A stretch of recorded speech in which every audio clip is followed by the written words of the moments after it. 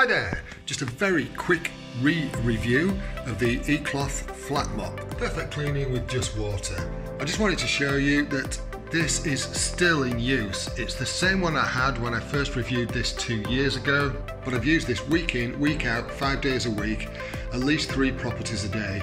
So it's had a hell of a lot of use. I do tend to use these pads.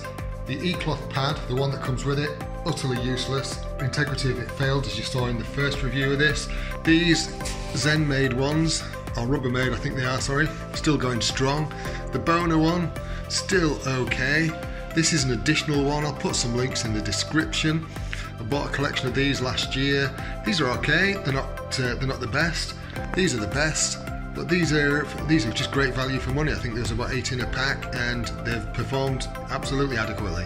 One thing I did have an issue with with this was the hinge squeaking. I added a little bit of WD-40 around here. To be honest with you, I forgot all about the fact that it squeaked until I looked back at the video, the original video. I'll just show you the underside. As you can see, the underside has got a bit clogged. This does spend a lot of time travelling in and out of my car, getting stood on the roadside, pavement, that kind of thing, and it is a little bit clogged. However, let me show you this. Everything still sticks to it absolutely fine. Doesn't matter which pad it is, they all stick to it. Right, that's it. I just wanted to revisit this one more time, especially after the issues I had with the Bona system.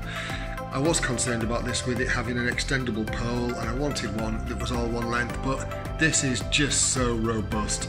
As I say, it's in and out of my car all the time, getting collapsed and reset up. Whereas if you've got one of these in your house, you'll probably just leave it set up. So considering this gets so much hammer, can't fault it. Look at the mess on that floor, I better crack on. If you like this video, give it a thumbs up. If you don't like it, give it a thumbs down. I'll be back shortly with a new video, so if you want to know about that, click the subscribe button and then when you open YouTube, you'll get a little notification to say I've uploaded it. Right, catch you soon. Bye for now.